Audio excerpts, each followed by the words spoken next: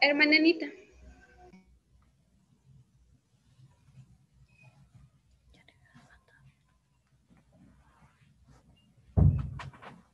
Este coro lo vamos, vamos a iniciar. Porque grande es Jehová y digno de suprema alabanza, adorar a Jehová en la hermosura de la santidad, porque grande es Jehová y digno de suprema alabanza, adorar a Jehová en la hermosura de la santidad y teme delante de toda la tierra y tened delante de toda la tierra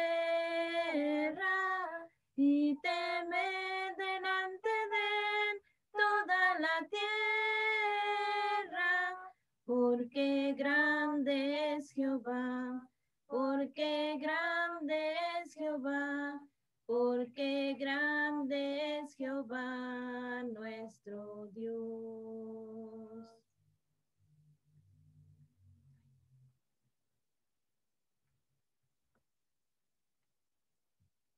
Vamos a entonar otro, hermanas. Este que también está chiquito, pero dice grandes cosas tan hermosas nos vamos a reunir a adorar y a cantar a nuestro Dios. Vamos a cantar. Nos reunimos en el monte ante el trono del Señor con corazones muy humildes para ofrecer una canción. Gloria y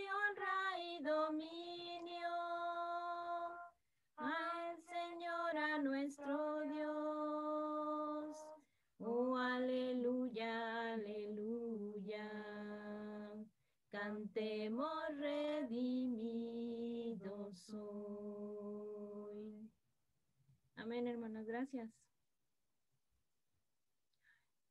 ¿Ese lo dejamos yo creo para la para terminar, Sarita, o de una vez?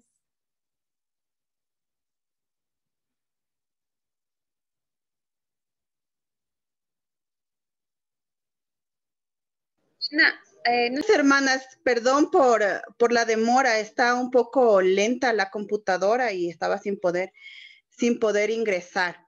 Quiero que me acompañen, hermanas, a leer lo que nos dice Salmo capítulo 18, versículo 2. Salmo capítulo 18, versículo 2.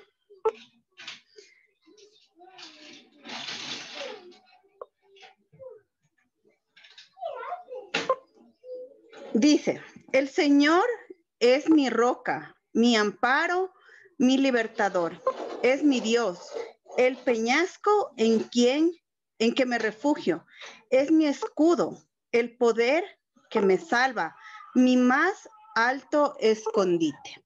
Vamos a hacer una oración, hermanas, antes de empezar esta tarde con este tema que es, Él es mi escudo.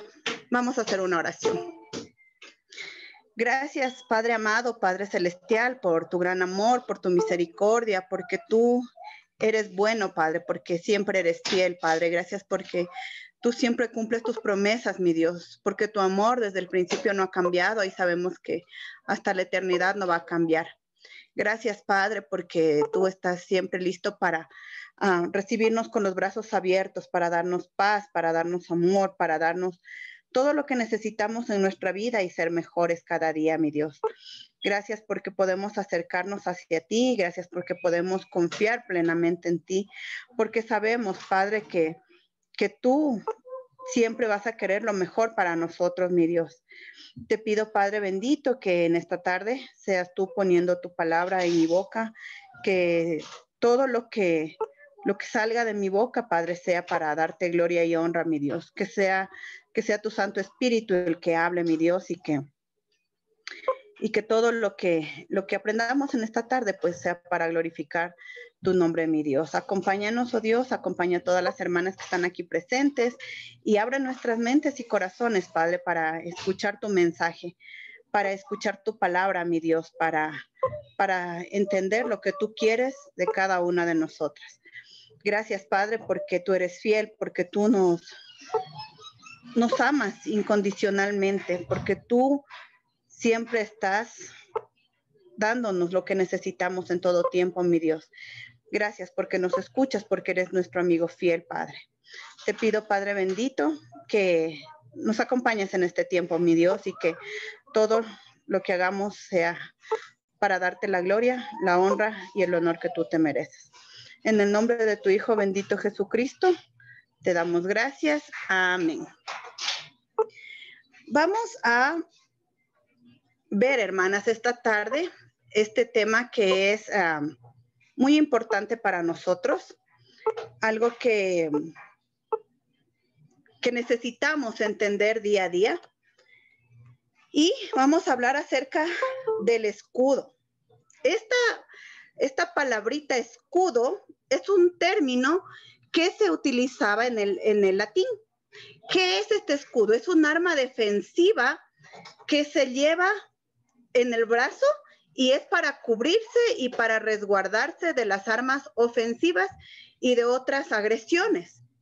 Otra definición para escudo es amparo, defensa, protección, persona o cosa que se utiliza como protección. A ver, vamos a ver nuevamente, hermanas, para que quede claro. Esta palabrita escudo tiene dos significados.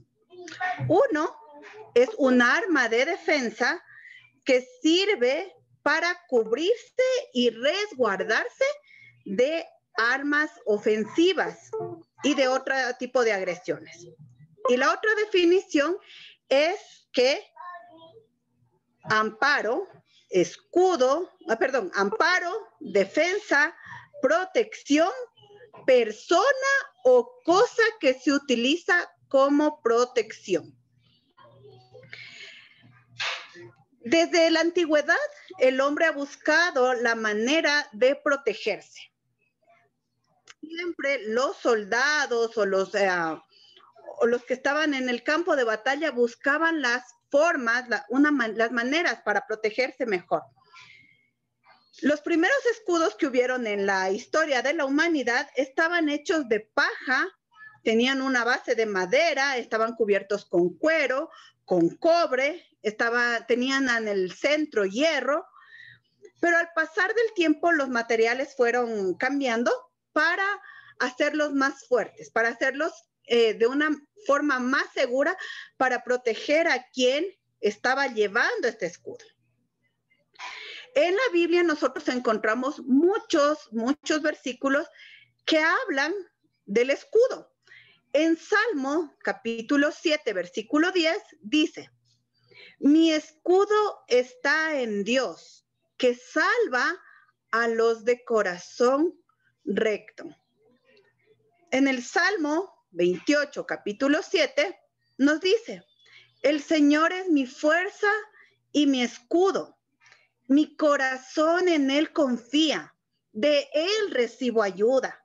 Mi corazón salta de alegría y con cánticos le daré gracias. En el Salmo 89, versículo 18, dice, Tú, Señor, eres nuestro escudo. Tú, Santo de Israel, eres nuestro Rey.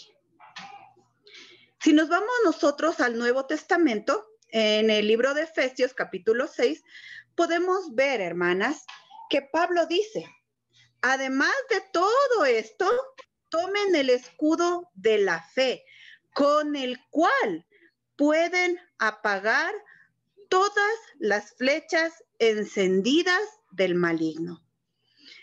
A ver, hermanas, Pablo estaba en la cárcel, él estaba junto a un, eh, a un soldado romano que llevaba puesta toda la armadura. Y Pablo dice, tomen el escudo de la fe. ¿Qué es la fe, hermanas?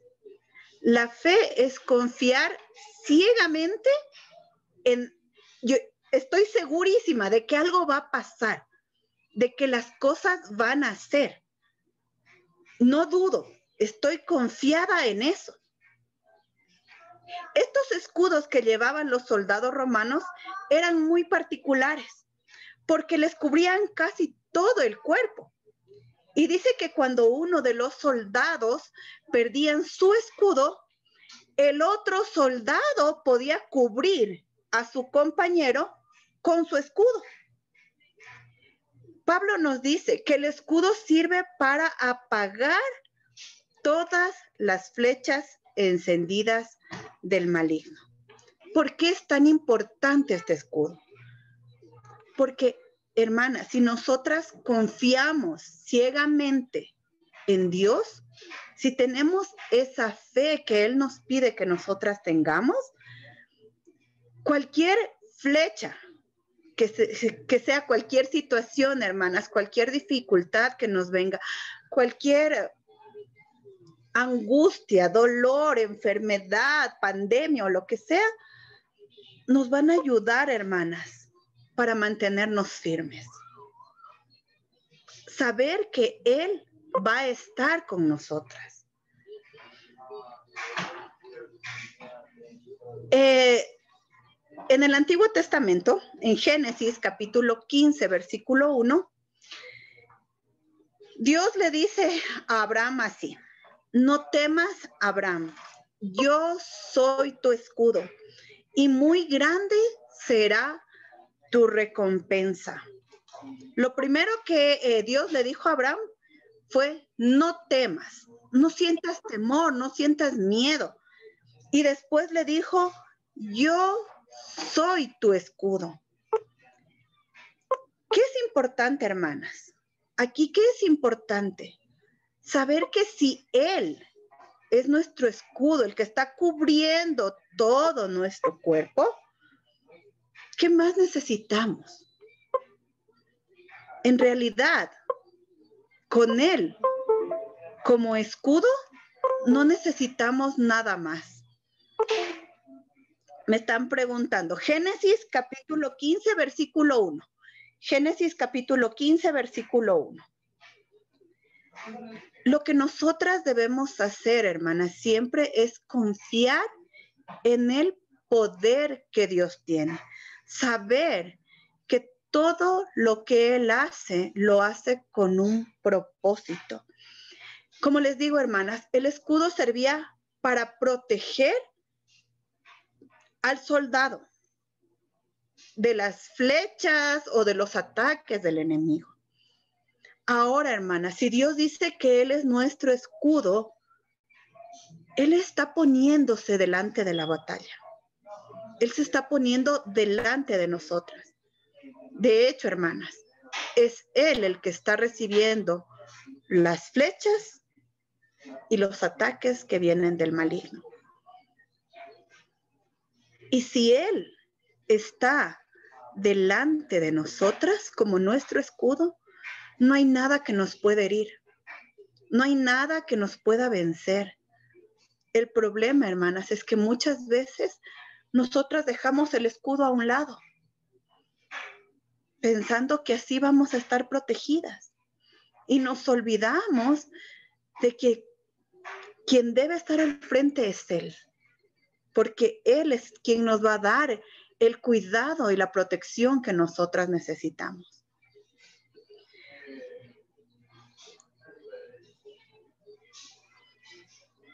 Vamos a irnos a Salmo 7.10 otra vez y vamos a ver nuevamente lo que decía. Dice, mi escudo está en Dios. Y vamos a ampliarle un poquito más esto, que dice, mi arma defensiva, mi amparo, mi defensa, mi protección está en Dios. Él es quien cuida de mí. ¿Cuántas de nosotras no nos sentimos dichosas por tener a Dios como nuestro escudo? Cuando yo estoy leyendo esto del escudo y, me pongo a reflexionar, hermanas, qué amor tan grande. Porque este soldado imperfecto tiene un escudo que le protege de cualquier cosa tiene un escudo que no va a permitir que le maten. Porque el enemigo lo que quiere es acabar con todo. Él no quiere nada a medias. Él quiere acabar con todo, hermanas. Y nosotras debemos entender la importancia de mantenernos cubiertas por Él, por el que puede, por el Todopoderoso.